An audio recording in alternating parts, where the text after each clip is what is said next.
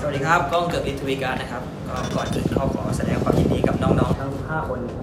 ที่ผ่านการคัดเลือกในโครงการฟุตบอลเยาวชนเฉลิมพระเกียรติถวายองค์ราชัน ที่ Brooke House College Academy ฟุตบอล กับโคซิโก้เป็นเวลา 2 สัปดาห์ ที่ประเทศอังกฤษก็ขอให้น้องๆทุกคนมุ่งมั่นตั้งใจฝึกซ้อมกับการไปฝึกในครั้งนี้ก็ก็อยากให้ทุกคนเต็มที่แล้วก็นำมาใช้ ประโยชน์ในการเล่นฟุตบอลมากที่สุดก็ขอทุกคนประสบความสำเร็จในการฝึกซ้อมครั้งนี้ เพื่อต่อยอดกับเป็นนักฟุตบอลอาชีพแล้วก็